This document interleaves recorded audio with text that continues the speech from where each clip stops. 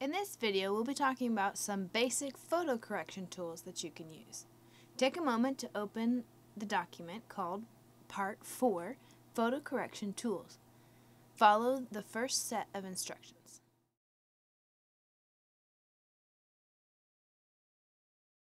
The first photo correction tool we're going to talk about is the crop tool. Let's take a look at this sample image of this ball. Let's say that I wanted to crop out this garage and this wire up here. I'm going to need to select the crop tool. Crop tool is here, the fifth tool down. And all I need to do is move these corner pieces in until I've got it where I want it to be.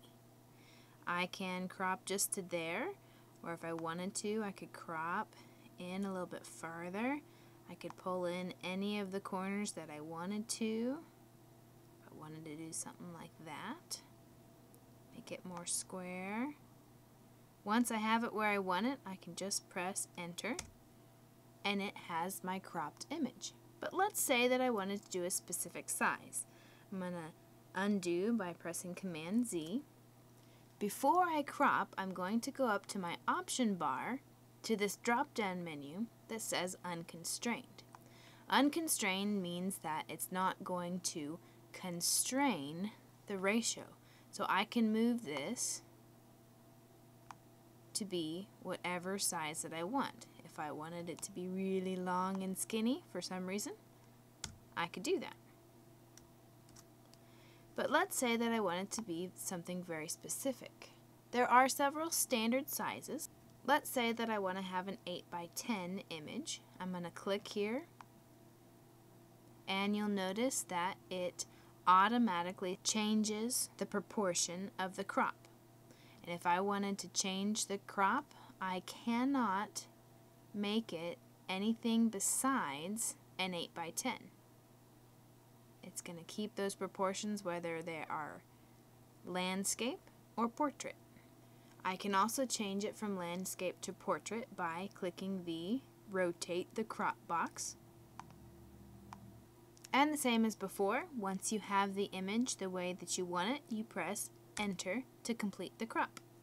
Now I'm going to go back to our worksheet here, part 4, and you can see that I still have my crop tool selected and that it still has the proportions that I set it to with the other photo. But I don't want it to be 8 by 10 or 4 by 5 for this document, so I'm going to click on the drop down and go back up to unconstrained, and then I can change it to be whatever I want it to be. I want to crop off the black around the image. You see how it jumps here on the corners? So now would be a good time for me to zoom in, so I'm going to hold down Alt and scroll with my mouse and that went in really far. And you can just use your mouse to scroll where you want to be. And you can see that my crop still has some of that black in there so I'm going to move it until I've just barely blocked out the black. I'll do the same thing on the other side so I'm going to scroll out and then scroll back into this corner. Once finished, I can press enter and it finishes the crop. Let's take a look at what we've got. That looks pretty good. You can crop as many times as you need to. Let's say that I didn't quite get all of the black out. I can still crop again by moving the corners. I don't need to right now, but so that you know, if you need to crop again, that is still an option for you. And to exit the crop tool, you can just switch to a different tool. And it'll ask me if I want to crop. I didn't really do anything, so I can press don't crop.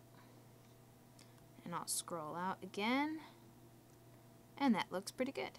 So take a moment and complete the second set of instructions.